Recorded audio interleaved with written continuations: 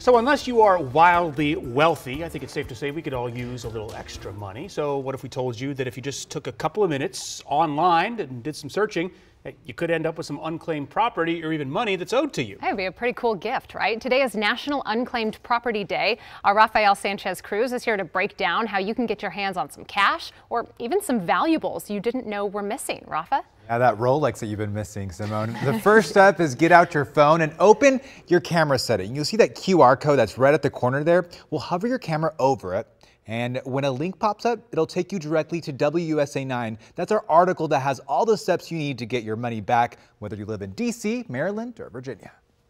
One in seven people has some kind of unclaimed property just waiting to be collected, according to the National Association of Unclaimed Property Administrators. This might be an inactive checking account, a missed paycheck, utility refund, or even valuables like this jewelry that's just waiting to be picked up by their owners, according to the Maryland Office of the Controller. The National Association of State Treasurers has set up unclaimed.org, where you can search for your state and it will take you directly to the website to start your search. Let's take Virginia, for example. You enter your last name name or the name of your business. To narrow your search, you can also include a city, zip code, and property ID. You'll then be taken to a list of potential properties that might be yours. You select those that match with your information, and then you start your claim. Getting your money or property will require further personal information and proper identification. Some states and provinces have also partnered up with missingmoney.com, which requires the same steps to track your property in different states. This is a tool for those that have moved around the country. The National Association of Unclaimed Property Administrators urges people to only use legitimate sites on their website because you are being asked to enter personal information.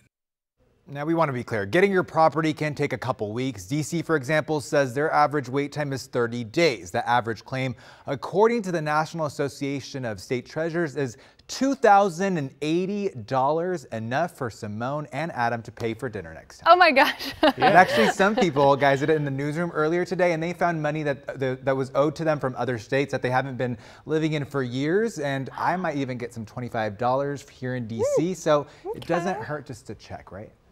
Boy, that like would the be sound fun. of that. Yeah. But it just takes a couple minutes to go on a website. You can do it. So, so remember, thanks, Rafa. If you if you want to see again, if you have any unclaimed items or cash, just scan that. Just take a picture of that uh, QR code right there. The link will pop up to take you to our WUSA 9 article. It's got all the steps you need to know to get your money back. All right. May the odds be ever in your favor, Rafa. Thank you.